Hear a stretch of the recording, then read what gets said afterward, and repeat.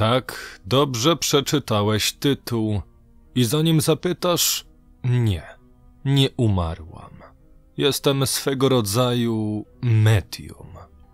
Choć brzmi to banalnie, potrafię widzieć umarłych. To właśnie przyciągnęło mnie do tej małej kawiarni z podziurawionymi ścianami. Cóż, to i moja pilna potrzeba zarobienia pieniędzy. Właśnie skończyłam liceum i szukałam swojego miejsca na świecie. Nie byłam na tyle mądra, żeby dostać się do porządnej czteroletniej uczelni, nie nadawałam się też do szkoły handlowej. Poza tym rodzice chcieli mnie wyrzucić z domu, jeśli szybko nie znajdę jakiejś pracy. I właśnie wtedy natknęłam się na pośmiertną.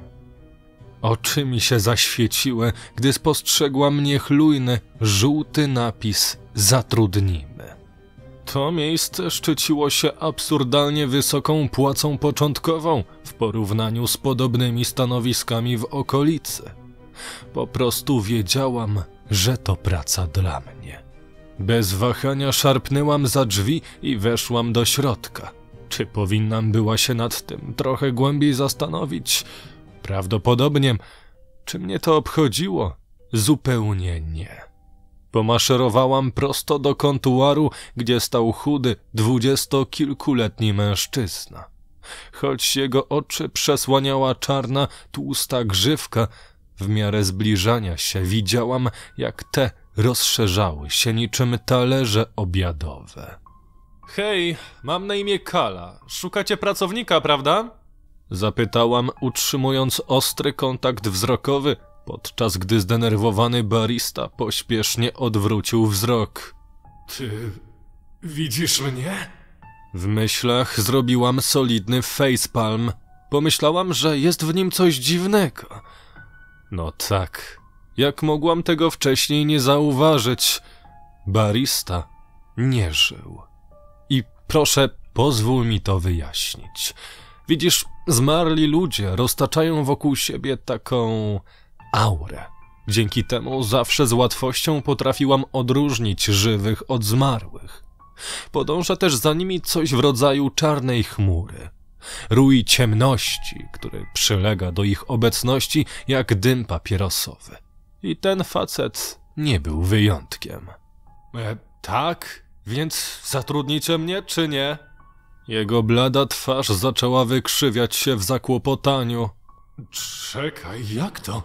Żyjesz? Wiesz, że ja nie żyję, a mimo to chcesz tu pracować? Tak, to nie jest takie trudne do zrozumienia, stary. Po wyrazie jego twarzy mogłam stwierdzić, że z trudem przetworzył moje oświadczenie.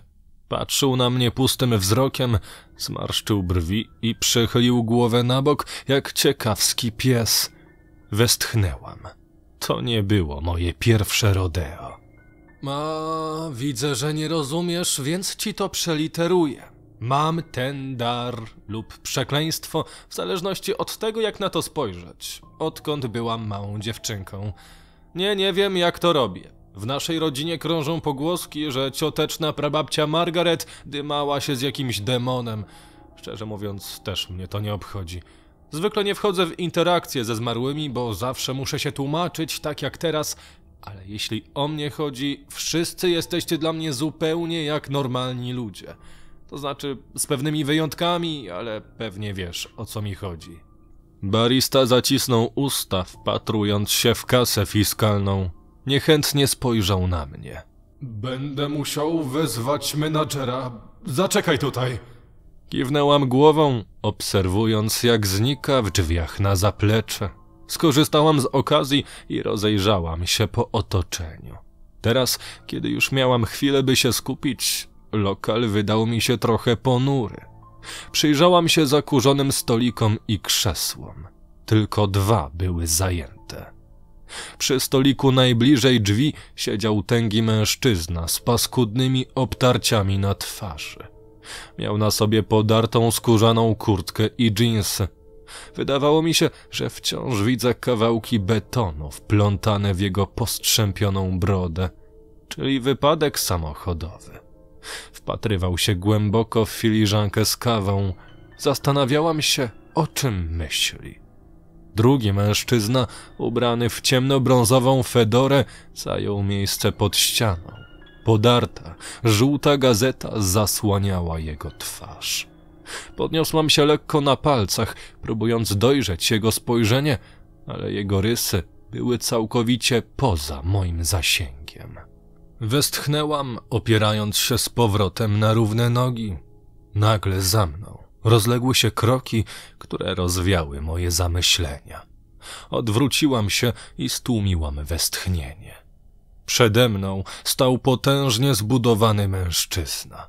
Musiał mieć co najmniej dwa metry wzrostu i nie był ani trochę szczupły. Jego przedramiona były tak wielkie jak mój tułów. Jego niechlujne brązowe włosy były zaniedbane, jakby dopiero co wstał z łóżka. Był zdecydowanie największym trupem lub w ogóle człowiekiem, jakiego kiedykolwiek widziałam. Barista wpatrywał się w ziemię, gdy ta absolutna, ludzka bestia przemówiła.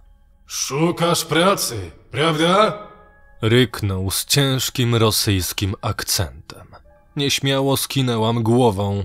E, tak? Uśmiechnął się, ukazując rzędy postrzępionych żółtych zębów. Dobrze, przyjdź do biura. Pilnie posłuchałam, naśladując jego potworne kroki, aż znaleźliśmy się w ciasnym, zagraconym pokoju. Wszędzie walały się papiery i unosił się w nich wyraźny, zgniły smród. To było takie intensywne, tak wszechogarniające. Myślałam, że coś tam umarło. Jak miałam się później przekonać, coś takiego miało miejsce. Jestem Iwan. Twoje imię? Zapytał, zamykając drzwi. Kala, miło cię poznać. Powiedziałam, próbując opanować drżenie dłoni, gdy ją do niego wyciągałam. Cała przyjemność po mojej stronie. Usiądź. Rozkazał Iwan, ignorując moją rękę. Niegrzecznie. Wymamrotałam pod nosem, odsuwając przede mną obskurne drewniane siedzenie. Iwan opadł na biurko. Krzesło jęknęło pod jego ciężarem. Pochylił się do przodu, a na jego usta powrócił przebiegły uśmiech. Ile masz lat, dziewucho? Przewróciłam oczami.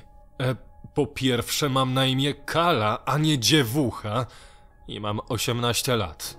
Dobra, dobra. Kiedy możesz zacząć? Przez chwilę patrzyłam na niego pustym wzrokiem. E, nie chcesz najpierw zobaczyć mojego CV? Zapytałam, zaczynając szperać w torebce. E, już gdzieś tu mamy, momencik. E, Iwan uniósł mięsistą rękę.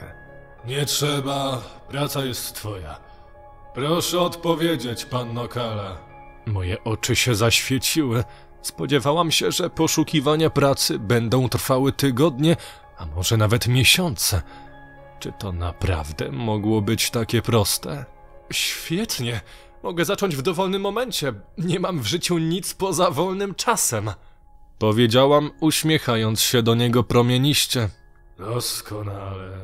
Idź, zaczynasz już pierwszą zmianę. Iwan uśmiechnął się ironicznie, grzebiąc pod biurkiem. Wyciągnął wyblakły zielony fartuch i rzucił mi go. Z wdziękiem upuściłam go na podłogę. Byłam lekko w szoku. Nie miałam na myśli tej minuty. Chyba powinnam była wyrazić się bardziej szczegółowo. Steven cię wszystkiego nauczy. Porozmawiaj z nim. Powiedział, wstając i wyprowadzając mnie za drzwi. Ale ja... Steven odpowie na pytania. Witamy w zespole i tak dalej. Iwan pośpiesznie wyprowadził mnie z pokoju. Ja... Zatrzasnął drzwi. Te zagrzechotały w ramię, gdy zatrzasnęły się tuż przed moją twarzą. To było dziwne. Nieśmiało wróciłam do kontuaru, przy którym stał Steven. Jego uderzające brązowe oczy spotkały się z moimi i przemknął przez nie promyk nadziei. Domyślam się, że dostałaś tę pracę. Zgadza się. Iwan powiedział, że będziesz mnie szkolić. Na twarzy Stevena pojawił się uśmiech. Gratulacje! Witamy w pośmiertnej! Nie będę zanudzać cię szczegółami procesu szkoleniowego. Przyszedłeś tutaj, aby usłyszeć o mojej najdziwniejszej zmianie, a nie o mojej pierwszej. To opowieść na inny dzień. Kiedy to się stało, pracowałam w pośmiertnej przez nieco ponad rok. To co zawsze, prawda, Frank? Tak, znasz mnie tak dobrze, Kala. Pamiętacie motocyklistę, o którym wspomniałam wcześniej, prawda? Tak, to Frank. To będzie 7 dolarów i 13 centów. Coś jeszcze? Tak, Powiedział, rzucając zmiętą dziesiątkę na ladę. twoja dusza. Wpatrywał się we mnie intensywnie. Zmrużyłam na niego oczy. Frank, codziennie opowiadasz ten sam dowcip. To nie staje się ani trochę zabawniejsze, kiedy to powiesz pięćsetny raz. Burknęłam, podając mu resztę. No weź, Kala. Zabiłoby cię, gdybyś od czasu do czasu zachichotała. Gdzie twoje poczucie humoru? Umarło, kiedy zaczęłam tu pracować. Nie dobijaj się umarłych. Mruknął, oddalając się. Kończyłam właśnie pracę nad Blond Espresso Franka, kiedy to poczułam obecność czegoś mrocznego, złowrogiego. To uczucie zwykle mnie nie zaskakiwało, jednak wtedy było inaczej. Odwróciłam się i zobaczyłam mężczyznę w brązowej fedorze z gazetą wetkniętą pod pachę. Stłumiłam krzyk. Pamiętasz tego drugiego gościa, o którym ci mówiłam na początku historii? To Nona. Ładnie, prawda? A problem? Nigdy go nie widziałam bez gazety zakrywającej jego twarz. Jego kapelusz był pochylony w dół, więc nadal nie widziałam jego rysów, ale fakt, że był tak odsłonięty w tym momencie, to mnie przestraszyło. On nadchodzi. Serce waliło mi wściekle w klatce piersiowej. Zaczęło mi się kręcić w głowie i prawie upuściłam kawę Franka. Nigdy wcześniej nie słyszałam, żeby Nona mówił. Brzmiało, jakby jego posiłki składały się wyłącznie z potłuczonego szkła i dwóch paczek papierosów na deser. Co? On tu idzie. Strzeż się. Nona odszedł i zajął swoje standardowe miejsce na tyłach. Zwróciłam się do Stevena. Jego oczy wyglądały, jakby miał zaraz wyskoczyć z czaszki. Czy słyszałeś kiedyś, jak mówił? Szepnęłam drżącym głosem. Nie, nigdy nie wiedziałem, że potrafi. Twarz Stevena straciła kolor. Oparł się o blat, szukając oparcia. Co chciał przez to powiedzieć? Zapytałam, usiłując zrozumieć tajemniczą wiadomość Nony. Nie mam bladego pojęcia. Myślę, że musimy powiedzieć o tym Iwanowi. Skinęłam głową, a Steven wyprostował się i pobiegł do biura naszego menadżera. Zostałam sama, aby zająć się salą. Hej, skończyłaś już z moją kawką? Z odrętwienia wyrwał mnie szorstki głos Franka. Zakręcony Frank. Pieprzony staruch. O cholera, tak, przepraszam. Nieśmiało podałam mu wstrząśnięte espresso. Niestety cały przygotowany przeze mnie wzór pianki się rozmył. Wymamrotał coś o tym, że pośmiertna potrzebuje nowego baristy, po czym wrócił na swoje miejsce. Zadrwiłam z niego i wróciłam do robienia inwentaryzacji, gdy nagle to poczułam. Atmosfera się zmieniła. Temperatura gwałtownie spadła i poczułam, że w powietrzu unosi się coś złego. Coś mrocznego, pokręconego i złowrogiego. Krew zamarzła mi, gdy usłyszałam znajomy dźwięk otwieranych drzwi. Z wahaniem podniosłam wzrok. Chyba nigdy nie zapomnę tego, co widziałam. Przez drzwi wszedł szczupły mężczyzna w eleganckim czarnym garniturze. Zbliżając się, poprawił krwisto-czerwony krawat. Z gniazda szczurów o rozczochranych blond włosach na czubku głowy sterczały czarne jak smoła rogi. Jego uderzające niebieskie oczy zdawały się mnie przenikać, gdy na jego twarzy pojawił się uśmiech. Jednak nie to mnie tak naprawdę przestraszyło. Ciągnął za sobą grube, zardzewiałe ogniwo łańcucha, a na jego końcu mężczyznę. Zakrwawiony, wychudzony Japończyk podążał pilnie na czworakach, niczym jakiś popieprzony pies. Obroża na jego szyi była tak ciasna, że myślałam, że zaraz złamie kark. Uderzenie poczucia winy uderzyło mnie w pierś jak błyskawica, gdy spojrzał na mnie tymi beznadziejnymi, pustymi oczami. Verrier! Iwan pojawił się za mną, warcząc jak niedźwiedź grizzly. Steven schował się za nim. Ach, Iwan, dawno się nie widzieliśmy. Został za to nagrodzony ostrym grymasem. Zakazano ci tu przychodzić! Wypad! Chytry uśmiech Verriera stał się jeszcze szerszy. Oj, Iwan, tak się nie rozmawia z drogim, starym kolegą. Wiesz, tęsknię za tymi czasami. Iwan uderzył potężnie pięścią w ladę, wywołując drżenie w całym lokalu. Zwrócił się do Stevena i do mnie. Idźcie do biura. Nie musicie na to patrzeć. Natychmiast usłuchaliśmy, ale zatrzymaliśmy się w przedsionku i wyjrzeliśmy za rogu framugi. Kim jest Verrier? Mruknęłam, starając się zachować ciszę. Demon nieposłuszeństwa. On i Iwan mają wspólną przeszłość. Ostatnim razem, kiedy tu przyszedł, nie było fajnie. Zacisnęłam usta. Demon nieposłuszeństwa ciągnący człowieka na smyczy. O ironia. Kątem oka widziałam Franka pełzającego w stronę drzwi. Nie można było go winić za tak żałosną ucieczkę. Ja też bym uciekła, gdybym tylko mogła. Nona natomiast nadal wyglądał jak posąg. Po prostu siedział z głową opuszczoną na swoim stałym miejscu. Szczerze mówiąc, bardziej bałam się go niż demona zadzierającego z moim szefem. Wcale nie jestem zaskoczony, że twoje maniery lub ich brak uległy dalszemu pogorszeniu od czasu naszego ostatniego spotkania. Naprawdę powinieneś nad tym popracować. Syknął Verrier, wyrywając mnie z odrętwienia. Niemal chichotał z dziecięcym entuzjazmem.